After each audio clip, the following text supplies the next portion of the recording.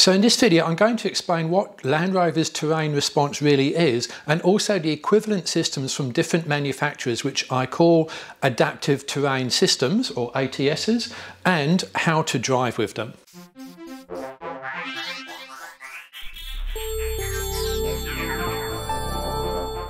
Now to understand an ATS or an adaptive terrain system, you've got to understand that every 4x4 terrain is different and needs different characteristics from the car. That's why I've had low range, locking differentials, etc, etc. So this is nothing new. ATS is just an electronic version of configuring the car for those terrains. Now you can think of every single terrain as three types or a combination of those three types. The first is, is it soft? Then is it slippery? And then is it rough? So as an example, rock is very, very rough. You wouldn't call it at all soft, and you certainly really wouldn't call it slippery in most cases. Sand, that is often very soft. Um, it's not really that slippery. It's, it's soft and loose, but not really slippery. And it's generally not that rough. Ice, well that's super, super slippery, the slipperiest terrain you're ever likely to find. It's unlikely to be rough and it's unlikely to be soft either. And then mud, probably maybe a combination of all of them. It could be a little bit rough, but not as rough as rock. It's certainly going to be a bit soft depending on the type of mud, and it's certainly going to be a bit slippery. So that's how you need to start thinking of terrains. And there's only four terrains, but you could go on and put pretty much every terrain onto this chart. Now, if we go into this a bit more detail, let's take a look at mud. So we could say shallow mud, it's not really super soft if it's on a hard surface. It's certainly pretty slippery and, you know, there might be some, some ruts in it, so maybe it is a bit rough. Deep mud, really deep chop suey peaty type mud, well, that's unlikely to be rough because it is just so soft. So we increase the softness of it. It is very slippery because it's earth, water, and that is a very slippery combination. So high on slippery, high on soft, but not really rough. So that, that's two types of mud. So you can't really categorize one terrain as always being the same thing. Now, if we look at sand, hard beach sand, well, that's neither soft, it's not slippery, and it's not rough. You can drive a two-wheel drive vehicle on it. I've towed my uh, my caravan in two-wheel drive on beaches, for example. Now, if we go for soft beach sand, well, that's the opposite. That is super, super soft. Again, it's not slippery and it's certainly not rough either because all four wheels are, um, firmly on, on the ground. But then if we look at desert dunes, when you're going through something like the Simpson Desert and people have chewed up those uh, sand ascents, well, that is actually starting to be quite rough now because there's ruts. It's still a bit soft, but not as soft as super soft softer fine powder on beaches or on dunes and slippery again really not that slippery. So you can see sand itself has different types of subterranes as well. So an adaptive terrain system reconfigures the vehicle according to the terrain. Now pretty much everyone these days has an ATS so we've got Jeep Selec-Terrain, Nissan has got All Mode, uh, Toyota have got MTS, Multi Terrain Select. Ford just call it drive modes, as do Mitsubishi and the latest Triton, and Land Rover is the OG, as the cool kids like to say, with terrain response. So what does um, an ATS actually do? Well, we can talk about the vehicle setup and it changes things on, on the vehicle to adapt to the terrain. So the first thing is BTC, brake traction control. I've got videos explaining that. ESC, electronic stability control. It will change the calibration of that. It will change how and when the vehicle gear shifts with an automatic. It will change how it responds to the throttle. Locking diffs, should they be in or out if they're um, computer controlled. Suspension might be controlled as well, firm, soft, high or low all of those things. And then that creates better clearance, better power and better traction according to the conditions, leading to a vehicle which is optimized for soft, rough or slippery terrain or something in between uh, two of those extremes. So an example here from Mitsubishi, seven different drive modes, anything from normal driving all the way through to rock. We'll get onto what they mean in a moment. And here's um, one from Land Rover. I'm going to go through this in a bit more detail because it is the most comprehensive one out there. So what changes? Well, the throttle response, um, so that's what happens when you accelerate the, uh, push the throttle down or come off it. In grass, gravel, snow, it's less responsive because that's a slippery mode. Sand, it's a tapered response, so it starts off slow but then it gets quicker. Same for rock crawl, it's just generally less responsive, and mud and sand similar to to, sorry, mud and rut similar to sand.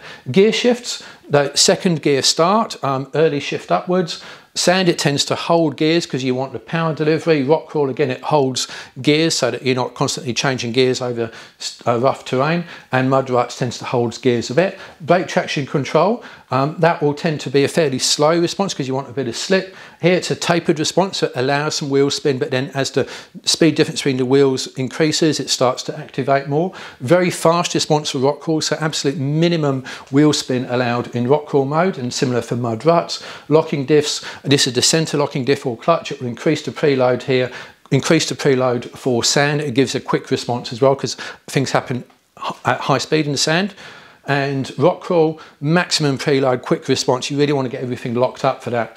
And it goes on ESC, reduced, reduced, reduced, reduced. ESC typically need to reduce even further or turn it off again in Land Rovers.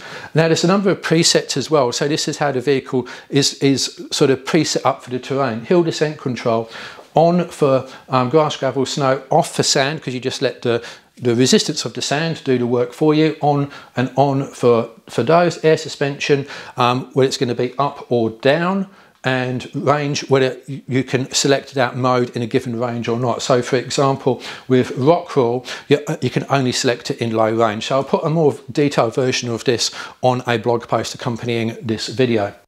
Now the differences with types of ATS mode are best demonstrated with brake traction control. Subaru XV or Crosstrek, exactly the same position, one with X mode enabled, one not. X mode is Subaru's ATS system. You can see that the brake traction control calibration much more effective in X mode. Now we've got three Subaru Foresters, X mode enabled, snow dirt mode and deep snow mud mode. The throttle inputs are the same in all three cases. It's just the stability control and brake traction control vary. And you can see that there's three quite different results from each of the three different types of mode. And finally, we've got Land Rover's terrain response, rock crawl, very fast acting brake traction control, barely allowing any wheel spin, grass, gravel, snow, far more relaxed, allowing a lot more wheel spin. But it's a closed loop system so that car figures it out and gets there. So how do you use an ATS? Well, don't think of sand, rock and snow. Think of soft, rough and slippery. That's the way to do it. And there's a three-step process. One, look at that terrain and say to yourself, is it soft, is it rough, or is it slippery? And that means, well, sand, for example, um, typically that would be quite soft, but not always. Icy roads, that would be typically slippery, rock typically predominantly rough. Rutted sand dunes somewhere between um, rock, rough and soft, so we're going to put that one over there. Earth and ruts, again, they're going to be rough, but maybe a little bit soft as well. Um, deep loose gravel, well, that's probably going to be more soft, you'd sink into it, as opposed to slippery. Deep snow, the opposite of icy roads. That's going to be really soft. It might be slippery as well, but probably more soft than anything else. And hard wet grass, well, that's going to be very slippery. Um, shallow mud, probably more slippery than soft. Um, wet dusty rock, well, Again, that's certainly going to be rough, but it's going to be slippery as well. Now, step two is you look at which ATS mode corresponds to soft, rough or slippery. So I've got the examples from Land Rover and Mitsubishi here. I'll put them up in more detail on my blog post. So those are off-road modes for Land Rover. Those are the ones for Mitsubishi. And out of that, we can go, okay, in the case of Land Rover, the soft mode is sand, and in the case of the Mitsubishi, it's mud and ruts, which appear to be identical from that um, point. For the rough mode, for Land Rover, it's rock crawl. For Mitsubishi, it's just called rock. And for the slippery surfaces, you use snow or grass, gravel, snow, respectively. Now, a bit more detail on this. Here's all of the Land Rover modes. There's quite a few these days. These are the off-road modes that you tend to focus on the most. And there's, again, slippery, soft and rough. And the auto mode in Land Rover will select from all of these and try and figure out the best terrain. And it does a pretty good job. And that is the mode I'd be driving around in normally. There are also a few extra things the car does with terrain response. It adds extra headlight, headlamp washing for mud and ruts, extra fan operation for cooling for sand mode, and rough or rock, mode, it's got a brake pre-charge, so when the wheel comes off the rock, it actually applies the brake preemptively to stop it falling off the rock, and a bit of extra headlamp washing there. And in wading mode, then it will actually wipe the brakes after you have exited the water. And if you don't have a car that does that, just do a little bit of left foot braking when you exit the water. Now we are going to talk about configurable terrain response in another video, which takes some of these under some form of user control, but not in this one. And for the Mitsubishi, here we've got again, there's your slippery mode, your soft mode, and your rough mode. Okay, so here's an example, and you select a mode, third step, um, according to soft, rough, and slippery. So we've got our soft, rough, slippery, snow and ice. Now we've got two different types of snow and ice, shallow icy snow and deep snow. Well they're actually quite different so we might use grass, gravel, snow um, for the first one and then for the deep snow, sand will probably be a more appropriate mode. If you use Land Rover's grass, gravel, snow in re really deep snow conditions you're not going to get too far, maybe it's mud and ruts. Um, in the case of sand, three, at least three different types of sand driving. So deep, soft sand where you're going up and down dunes, definitely want your sand modes for that, typically what they're designed for. Rutted sand dunes where the sand's not as powdery, but you might get scallops and dig outs and ruts and so forth. Mud ruts probably more appropriate. And going very, very slowly, extracting your vehicle onto MaxTrax on a, on a beach or something like that, you might well want rock mode, really get everything very tight and locked up because you're just moving incredibly slowly, trying to minimize wheel spin. Uh, mud, shallow mud and deep mud. With shallow mud, you might go for something like grass, gravel, snow because it's more akin to a slippery surface like uh, ice or or very wet grass, for example. In deep mud, you definitely wouldn't want that. You might go for your mud ruts, possibly even for a rock mud, because you need power to push through and you need your traction control, um, traction control tightened up as much as you can. So those are the three steps. What is the terrain? Is it soft, rough or slippery? Which modes do I have which correspond to soft, rough or slippery? Select that mode. So crossing the Simpson Desert, you're unlikely to need sand mode because it's pretty easy going and you'll just have the engine revving higher than normal, wasting valuable fuel. Over here though, it's really soft sand cross axle. That's where you want your rock mode to help get you out of that and tighten up the traction control. And this beach is so hard packed, well, you barely need four wheel drive at all, so sand mode's pointless.